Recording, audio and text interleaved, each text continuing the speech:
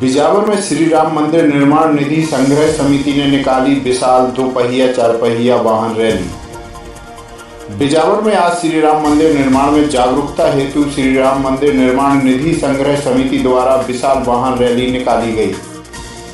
Rally में दोपहिया और चार पहिया वाहन बड़ी संख्या में शामिल रहे।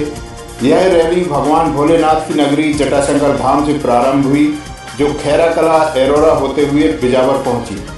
जहाँ पुष्प वर्षा कर लोगों ने रैली का स्वागत किया। नगर के प्रमुख स्थानों से होते हुए गुलगंज के लिए रवाना हो गई। गुलगंज से अनगौर पिपट होते हुए बिजावर के जानकी निवास मंदिर प्रांगण में रैली का समापन हुआ। इस रैली में पूर्व विधायक पुष्पनाथ पाठक जिला अध्यक्ष भाजपा मलखान सिंह सहित कई नेता शामिल रहे। बिजावर से संतोष सिंह परिहार।